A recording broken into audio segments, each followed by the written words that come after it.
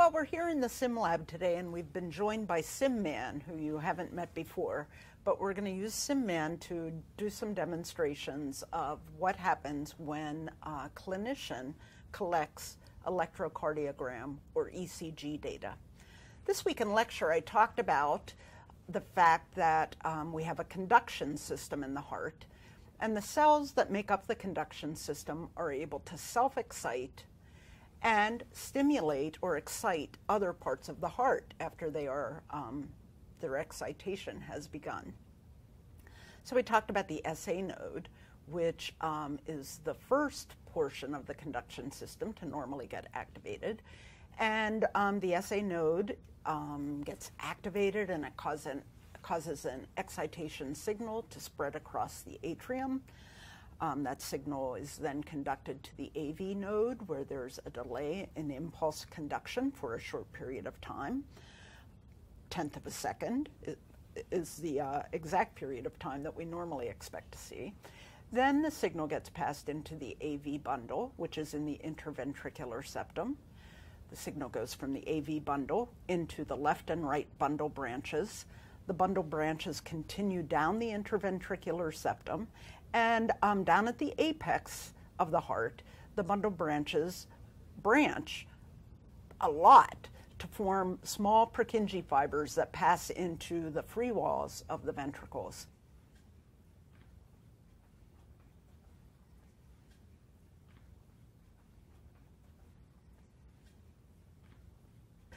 And um, we're here to talk about the ECGs because ECGs are devices that we use to actually detect the electrical activity that's going on in the heart. Um, when we set up an ECG, what you'll see happening is that electrodes, and there are many types of electrodes, but electrodes of one type or another will be positioned on the body. Megan, where? Well, we need 10 if we're going to do a 12 lead EKG or ECG, which is typically what will be done in a practitioner's office. So you're going to have um, two limb leads, and those are either kind of here on the upper chest or uh, on the arms. Even down as far as the wrist, right? Right. And then two um, lower limb leads, one on each leg or, or down at the foot.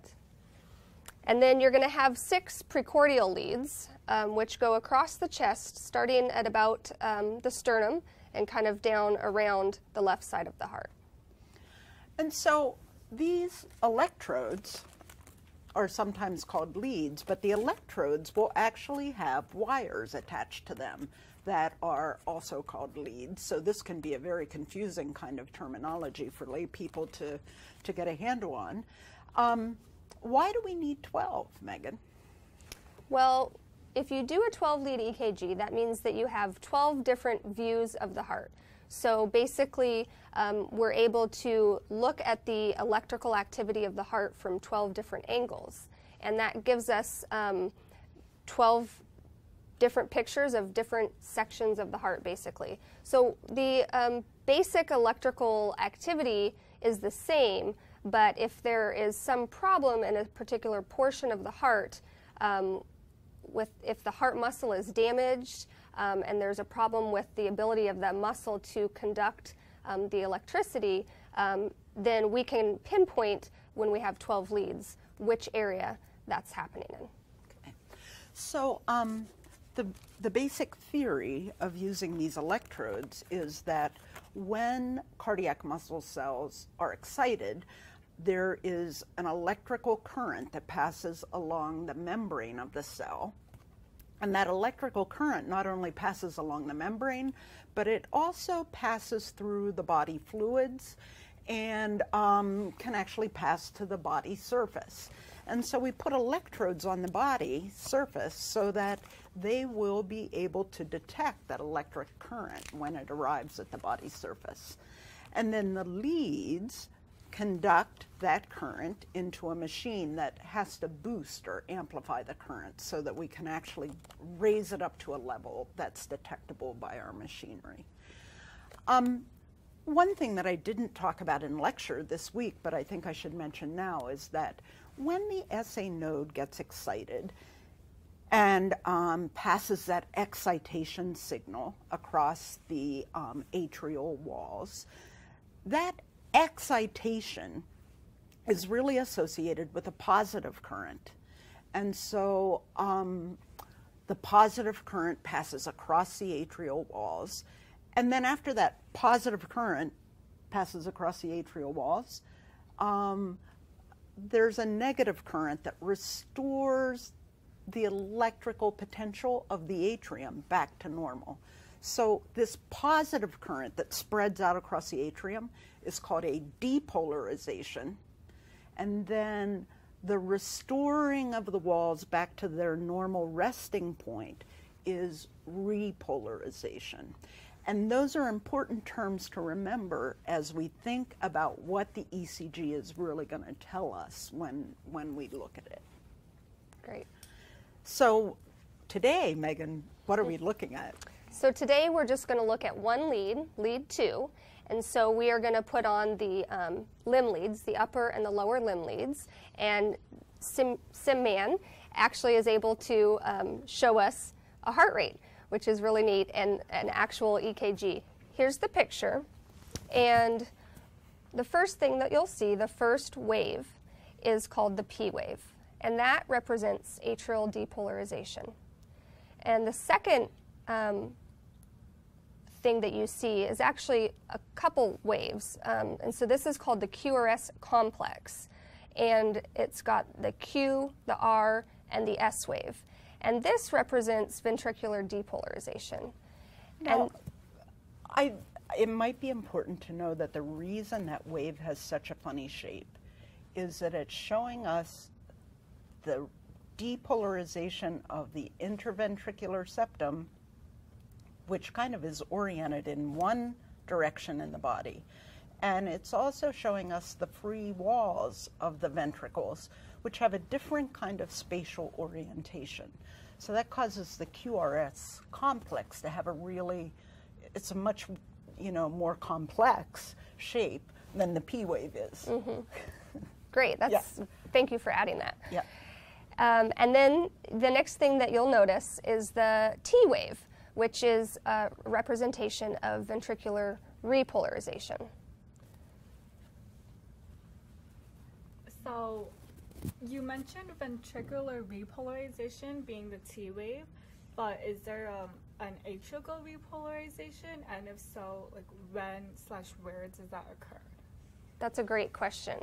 Um, the atrium does repolarize, but it occurs at, at, the same time that ventricular depolarization is occurring. So you can't see it on this wave because it's lost um, by the more prominent um, thing that's occurring at that time, which is ventricular depolarization. I see. Because you remember that the atrial, you know, the atrial walls are thinner, so there's less atrial muscle. The ventricular walls are thicker, there's more muscle there, and so the electrical currents in the ventricles are just so much stronger that they kind of hide the, the atrial repolarization. So now I have a question for you. In between these wave forms, there are flat lines, and we call those isoelectric lines. So in between the P wave and the beginning of the QRS complex, there's one of those flat lines or isoelectric lines. What do you think is happening in the heart during the period that isoelectric line is being recorded? Well, if it's isoelectric, could it mean that there's no activity? There's like not any new activity going on, right? Mm-hmm. So the P wave, if it represents atrial depolarization, the P wave is telling us that the SA node self excited, and then the depolarization spread across the atrium, right? And then what happens after the SA node? The AV node. Mm-hmm. And what is the significant functional thing that goes on in the AV node, Stacy? Mm, it regulates. It does, but remember that tenth of a second when there's a It gives time for the heart to Exactly, because there's a delay in the signal, right? Mm-hmm. So it gives time for the atrial contraction to occur before the, the ventricles get activated, right? Okay, so that's what's happening during that first, um, first isoelectric line. And, um, and during the second one, I see an isoelectric line between um, the QRS complex, where it ends, and the T wave begins. That's a time when there's just no new electrical activity being generated, right? The, the ventricles have already depolarized, and now we're waiting for them to begin to repolarize. So, Do you feel like you understand? I think I understand a lot more than I did before, definitely. Good. okay, that's what it's all about. So would this be normal sinus rhythm? Right, this is normal sinus rhythm. So these are the components of normal sinus rhythm. And if somebody had an abnormal uh, heart rhythm, then you would see different waves. And we won't really get into what that is, but yes, this is normal sinus rhythm. Great. Great.